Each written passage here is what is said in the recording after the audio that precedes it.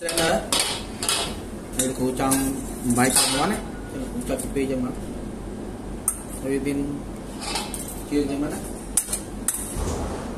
នេះសំខាន់ណាស់នេះចូល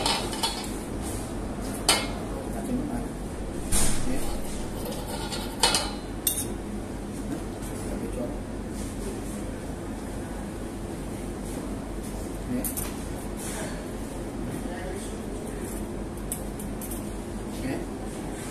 Easy, but chop it. No need to chop.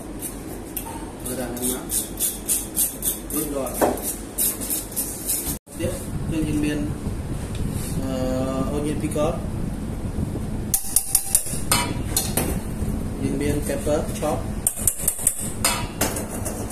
Nhân miên garlic. Kết đó lemon còn. Nhân miên parsley chop.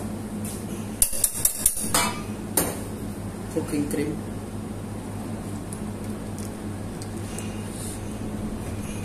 which all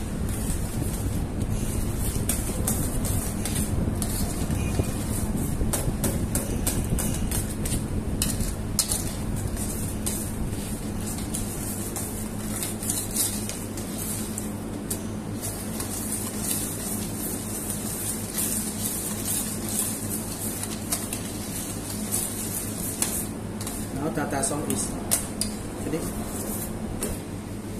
And we have lemon.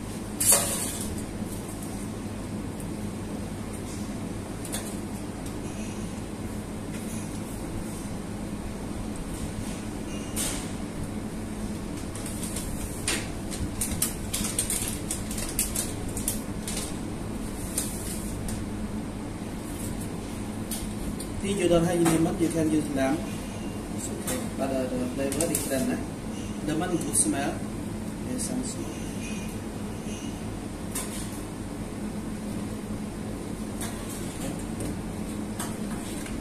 Be careful. We when you squeeze, you have uh, see, see now.